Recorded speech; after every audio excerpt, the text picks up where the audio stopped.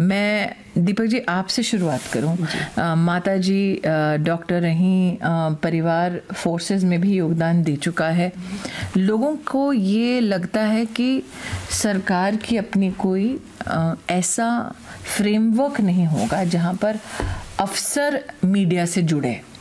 तो जब मीडिया की दुनिया में एक महिला ऑफिसर जुड़ती है और सरकार और जनता के बीच में समन्वय करती है तो उसका आप क्या परिणाम देखती हैं?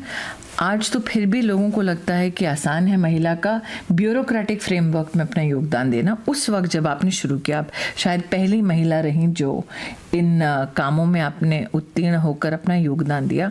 उस वक्त और आज के वक्त में क्या फ़र्क दिखता है? जी मैं पहले ये कहूँगी कि मैं पहली महिला नहीं थी। मुझसे सीनियर बैचेस में भी कुछ लेडी ऑफिसर्स रही थी।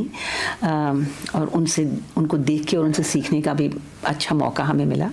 लेकिन हाँ ये बात बिल्कुल सही है कि जब हम डायरेक्ट रिक्रूट्स आए गवर्नमेंट मीडिया में आ, ये नहीं कहूँगी कि कोई नेगेटिव एटीट्यूड था, लेकिन एक थोड़ा सा डिसमिसिव तो ज़रूर था सीनियर आदमियों में, जो मेन ऑफिसर्स थे।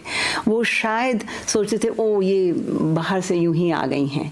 So we had to prove ourselves a bit more I think than the men लेकिन फिर भी गवर्नमेंट में बहुत प्रोटेक्टेड एक एटमोसफियर है। मैं ये नहीं कह सकूँगी, शायद कल्याणी जी का और मुश्किल रहा होगा प्राइवेट मीडिया में काम करना।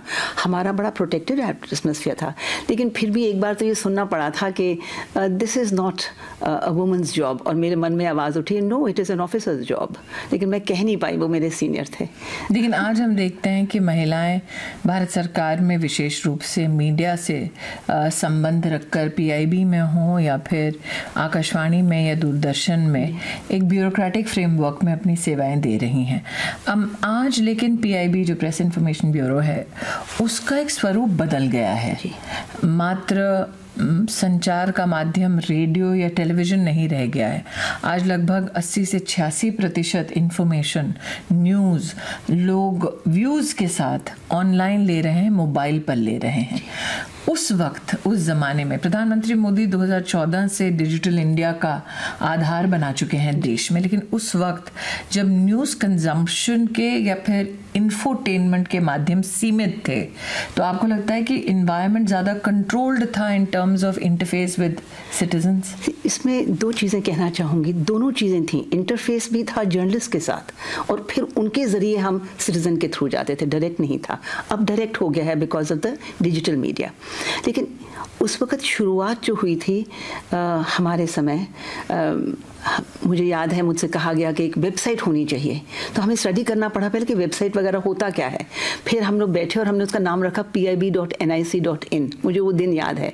और एक नए कागज़ पे लिखा कि फॉन्ट कैसा होगा उस वेबसाइट का। और आज मुझे इतना अच्छा लगता है कि वो इंस्टीट्यूशन जो हमने शुरू किया जो पी का एक बहुत स्ट्रॉन्ग आधार है वहाँ पे millions of people are coming और वो गवर्नमेंट इन्फॉर्मेशन का सबसे बड़ा एक सोर्स है।